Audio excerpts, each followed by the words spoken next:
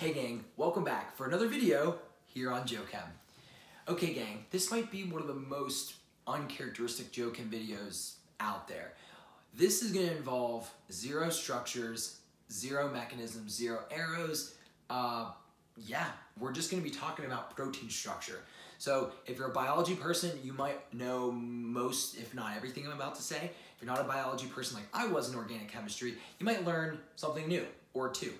So we're just gonna talk about the four types of protein structure. Primary structure, secondary structure, tertiary structure, and quaternary structure.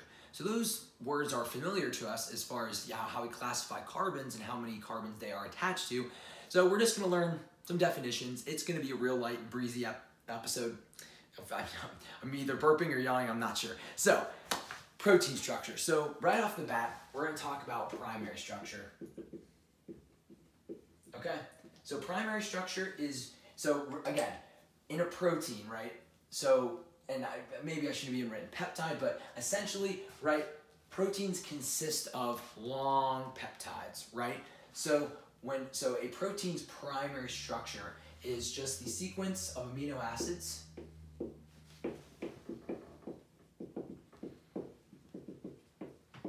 in the protein, okay? So, right, because we've discussed that proteins consist of amino acids, or sorry, peptides, and peptides are just amino acids strung together, right? You know, I protein, this is not the case, but we're just gonna have a bunch of tiny little boxes, right, with amino acid abbreviations. So a pro, you know primary structure says, okay, we have phenylalanine, we have cysteine, we have leucine, you know, yada yada yada. If a protein has something different than that order of boxes, whether it's, you know, what are, you know, A, B, and C, you know, C, B, A, right? That is what a, that's what a protein's primary structure is. Just what amino acids are involved and what order are they in, okay? So, secondary structure. And this one I think is maybe the one that kind of involves a little bit of organic explanation. So, there's two types of secondary structure. You're probably familiar with both of them. There's so this this is involved with how the protein is kind of in like how it orients itself in space. So you can have two different types. You can have a beta pleated sheet. Of course, I'm having some spelling issues. A beta pleated sheet, or you can have what is called an alpha helix. Okay, so what does a beta pleated sheet look like? It kind of looks like this. It's not going to be a great artist renditioning, but it's kind of like you have your amino acids in a row, and you kind of just like, it's almost like you went on a roller coaster that went up and then down the other side, okay? I'm going to explain why that conformation is favorable, why it's in, why our beta pleated sheets, uh, sheets adopted, not sheeps. so alpha helixes, that's kind of when your chain is like a, a, like a, is, is kind of like a coil. It's just gonna keep going like this. It's like a spiral going upwards, okay? So why are both of these, uh, why do proteins adopt these struct like these, these conformations? Why do we see the secondary structure in nature? It all comes down to hydrogen bonding in both cases, right? So, I'll even put that over here. It's all about H bonding. So, with beta pleated sheets, what you see is you have all your amino groups kind of jutting out like this, right? Now, the, I'm talking about the nitrogen. So this is the backbone, right? So I've not drawn the R groups whatsoever. Both of these secondary structures deal with the backbones of your peptides, right? Of your of your proteins. So we're not talking about R groups whatsoever. So actually, I should do this a little bit more effectively. Let me kind of almost swipe a little bit out right there. So inside, you're have a nitrogen. It's gonna have a hydrogen sticking out. So in a beta pleated sheet, you know, you have one side go up and the other side go down. The reason why this works is because you're going to run into a carbonyl on the other side, and one of its lone pairs is going to hydrogen bond with a nit with a hydrogen attached to a nitrogen on the other side. So you have this effect, whoops, where you have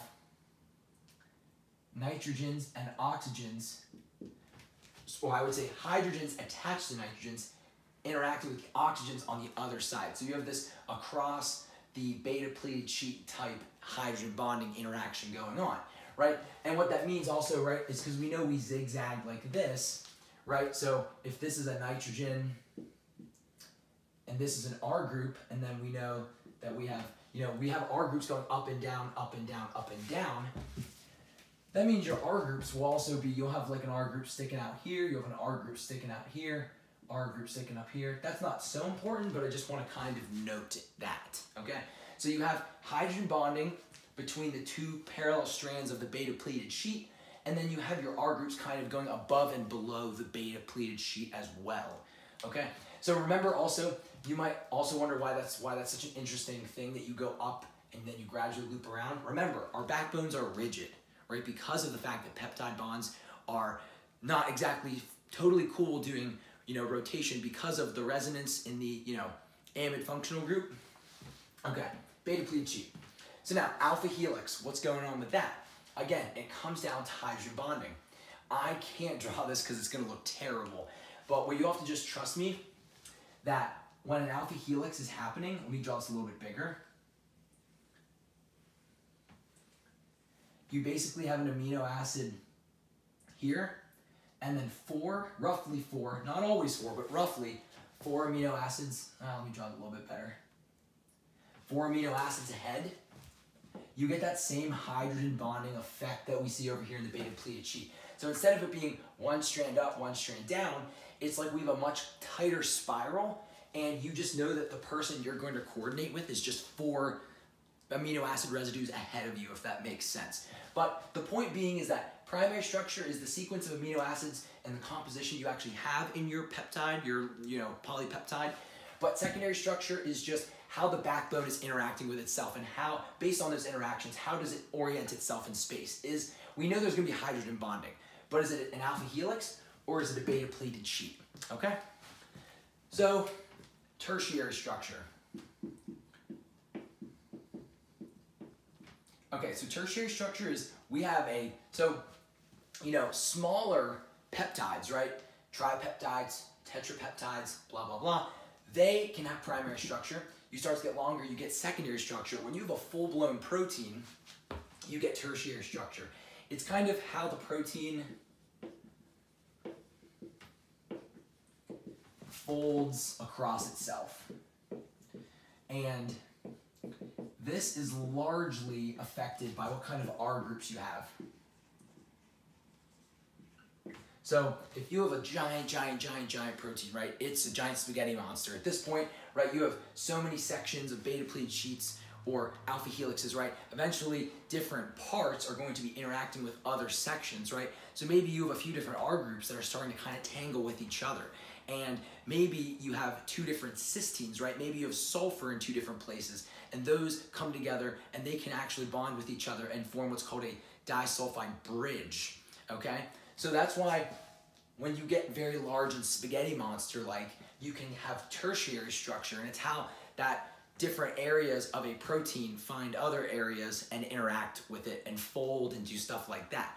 A lot of that comes into play when you're talking about enzymes and, and other things like that. And uh, what's interesting about tertiary structure is based on what's actually you know interacting. Like I said, I use this disulfide bridge for it as an example. If if you heat if you heat proteins or have harsh pH conditions. So if you really crank up the temperature or you really you, you put a protein in a situation where it's super acidic or super basic, the, it might react differently and it might fold differently and that changes how the protein behaves and reacts in certain situations. So tertiary structure is subject to change. So what's interesting is primary structure is, you know, bond-to-bond -bond connection, right? Secondary structure is hydrogen bonding, right? And there's not really anything to get around there because this is like a, a you know, because of the rigidity of our backbone, this is gonna be some fixed structure. It's not bond-to-bond, -bond, but it's pretty fixed, right? But tertiary structure can change based on conditions that you have. And last but not least, there's something called quaternary structure. And that's actually when you when you have a when you have a protein party, you get a bunch of proteins together and you have protein it's like tertiary structure like tertiary structure, tertiary interactions, but you have it between different big proteins, different polypeptides. It's also protein-protein interaction, okay? Okay, gang, so I hope if you're a biology person and you stopped on by for some protein fun, peptide fun, you learned something. And if you were like me, who is, you know, walking the organic or just chemical, you know, straight and narrow, with not that much biology background, hopefully you learned something too. Okay, gang, thank you so much for watching and hopefully for liking and subscribing. If you want more, you know, we talked about uh, drawing and naming peptides in one a previous video, but if you're looking for how to make them, peptide synthesis, stick around, find that video, I'll have it linked in the description. But uh, regardless, no matter what, I'll see you all in the next video.